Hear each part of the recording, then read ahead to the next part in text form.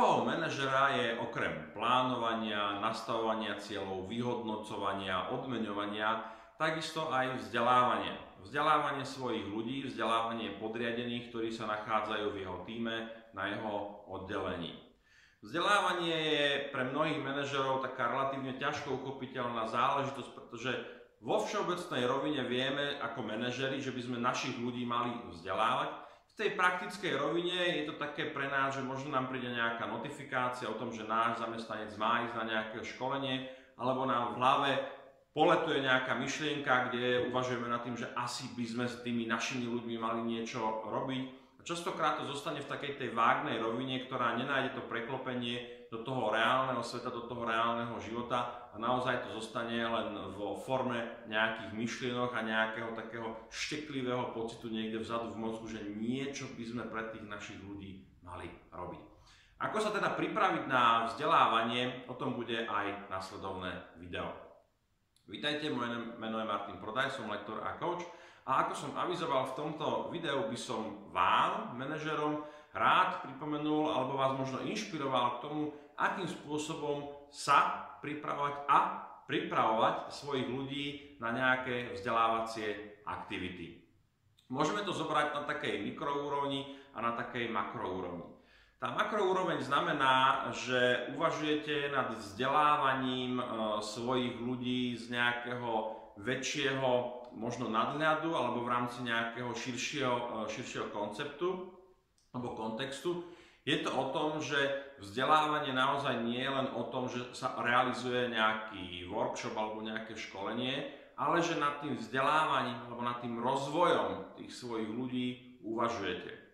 Veľmi zjednodušene môžeme povedať, že vzdelávanie alebo vzdelávacie aktivity, ich hlavný alebo kľúčový prvok, ten kľúčový prínosný element je v tom, teraz to veľmi zjednoduším, že máme nejaké napríklad firemné alebo nejaké tímové ciele, a samozrejme k dosiahnutiu týchto cieľov sú ľudia, ich poznatky, ich zručnosti prostriedkom.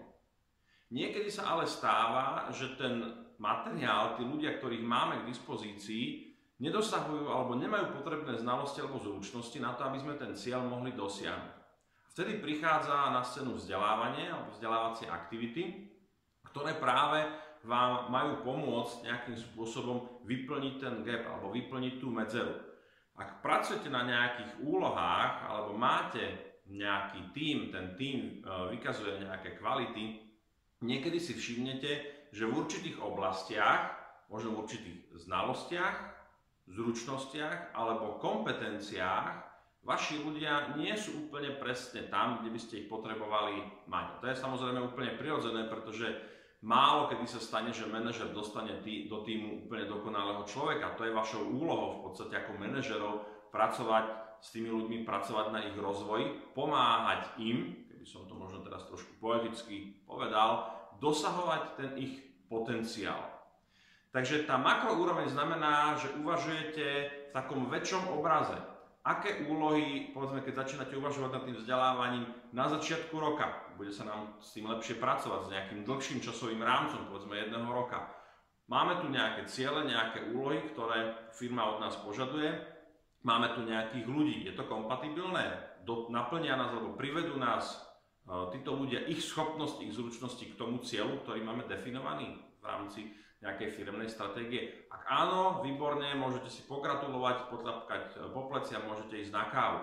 Pokiaľ ale nie, tak sa ocitáte v situácii, kedy musíte svojim ľuďom plánovať nejaké vzdelávanie, musíte sa nad tým zamyslieť. A toto už je niečo, čo občas mm, je taká záležitosť, no moc sa nám do toho nechce, je to tá práca navyše, nie to tá denná operatíva, v ktorej možno ten manažer je ponorený, je to niečo, čo je potrebné urobiť, ale častokrát sa tým manažerom do toho nechce. Čiže uvažovať v rámci takého väčšieho časového úseku, aké zručnosti, aké schopnosti, aké, aké poznatky by ten človek mal získať, lebo viete, nehovoríme o vzdelávaní pre vzdelávanie, my tých ľudí neposielame na tie školenia preto, lebo nevieme, čo s nimi robiť, alebo sa nudia, alebo hej, aby sme im dali nejakú prácu. Je dôležité uvedomiť si, že vzdelávanie alebo rozvojové aktivity akéhokoľvek typu sú prostriedkom. Na konci tej vzdelávacej aktivity má byť nejaká zručnosť, nejaká znalosť, prípadne v ideálnom prípade nejaká kompetencia, ktorá je potrebná na dosahovanie tých cieľov, ktoré máme v rámci oddelenia, divízie, týmu, firmy a tak ďalej.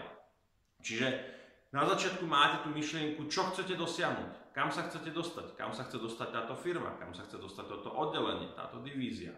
Potom idete ďalej, uvažujete nad tým, či tie znalosti, tie zručnosti, schopnosti, ktoré majú vaši ľudia, sú dostačujúce, aby ste tie ciele naplnili.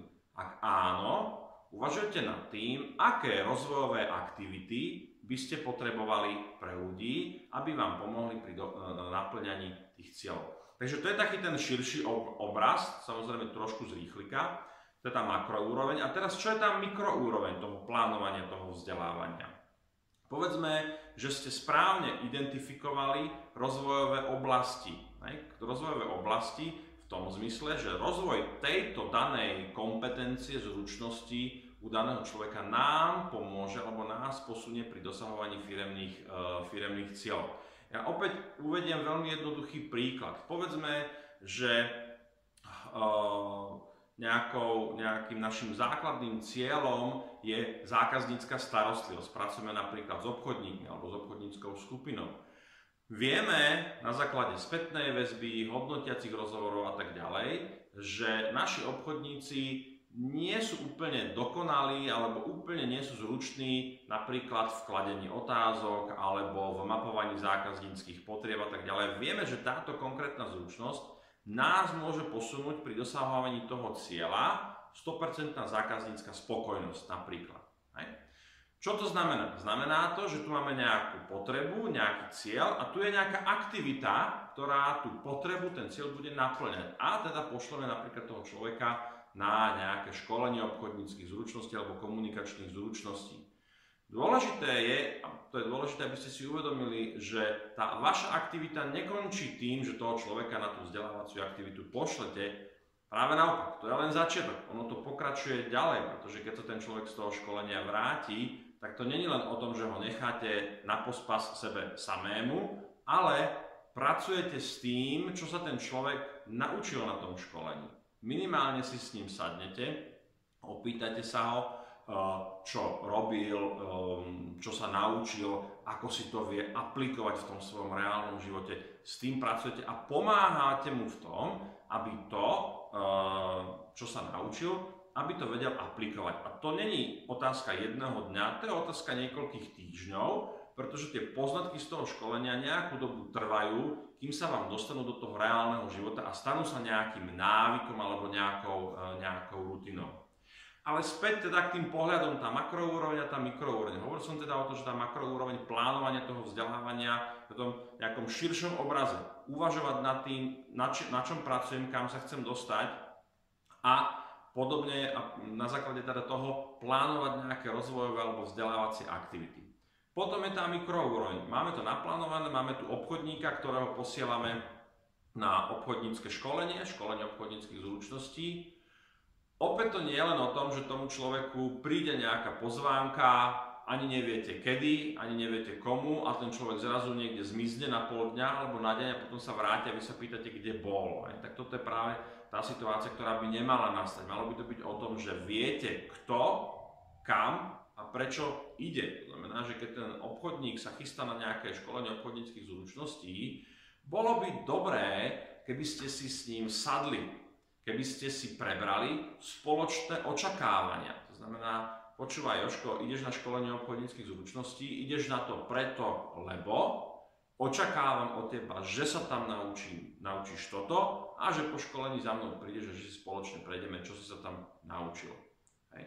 Je to veľmi dôležité, aby naozaj jednak vy ste mali prehľad v tom, kam vaši ľudia chodia, na aké vzdelávacie aktivity. A pre toho človeka, pre toho obchodníckého Joška, je to takisto nejaká informácia o tom, že jeho manažer sa zaujíma o to vzdelávanie a samozrejme vie, prečo tam ide a čo si odtiaľ má odniesť. To je vašou úlohou manažera definovať tie očakávania pre toho človeka. V ideálnom prípade vaše očakávania aj jeho očakávania od toho školenia sú v nejakom súlade, nejak to, nejak to ladí dohromady. Samozrejme, ten najhorší prípad je, že manažer povie, Joško, počúvaj, ideš na školenie obchodníckých zručností, lebo moc ti to s tými zákazníkmi nejde. No Joško povie, ale ja nemám problém so zákazníkmi, ja som skvelý obchodník, ja vôbec netuším, prečo ma tam posielaš. Toto je tá najhoršia možná situácia, ktorá môže nastať v okamžiku, kedy posielate človeka na školenie. Častokrát to potom je, že ten lektor pracuje s ľuďmi, ktorých sa pýta, čo tu chcú, alebo prečo sú na školení, a povedia, manažer vás sem poslal. A vieš, prečo si tu? On povie, neviem. Skúste zabrániť tomu, aby vaši ľudia nerozumeli tomu, prečo ich na to školenie posielate. Samozrejme, opäť tam je niekoľko variácií, že zamestnanec má, očakávania, má očakávania, vie, prečo na to školenie je, je to jeho vlastný záujem a vám napríklad to nemusí úplne zapadať do tej celkovej stratégie, ale je to v poriadku, pretože to je rozvojová aktivita. Hej. Vzdelávame sa, e, čítame si e, knihy, e, nie všetky preto, aby sme mali dokonalý výkon v práci, ale aj pre všeobecné obohatenie a tak ďalej. Takže to už je také škálovanie tých vzdelávacích aktivít, že niektoré sú také dôležité pre ten core business a niektoré sú povedzme doplnkové. A je úplne v poriadku, keď ten zamestnanec ide na, na také nejaké kvázi seba rozvojové školenie, ako napríklad školenia typu work-life balance alebo rozvoj emočnej inteligencie alebo sebariadenie, ktoré možno nie sú úplne kľúčové z hľadiska biznisu, ale z hľadiska rozvoja sú pre toho človeka dôležité. Takže späť to, k tej mikroúrovni, stretnete sa s tým človekom, prehodíte slovko do aha, takže ideš na to školenie, len som ti chcel pripomenúť, na čo sa máš zamerať, skúsi všímať túto oblasť alebo tieto poznatky, aby si s nimi potom vedel pracovať. Takže to sú vlastne pri plánovaní vzdelávania také dve základ, dva základné prvky, dva základné elementy, makroúroveň, celková stratégia, celkový rozvojový plán a mikroúroveň, E, aktivita, ktorá sa odohráva zajtra, pozajtra na budúci týždeň, aby ste jednoducho mali tie očakávania vyladené, aby tí ľudia vedeli, s čím budú pracovať. Takže to je z mojej strany všetko. Verím, že informácie, ktoré by vám mohli pomôcť pri plánovaní vzdelávania vašich zamestnancov vám budú užitočné a že tak ako som hovoril v tomto videu, tak aj vy si zoberiete možno jednu, dve konkrétne veci, ktoré potom sa budete snažiť uplatniť v tej svojej manažerskej práci a v tom vám samozrejme držím palce.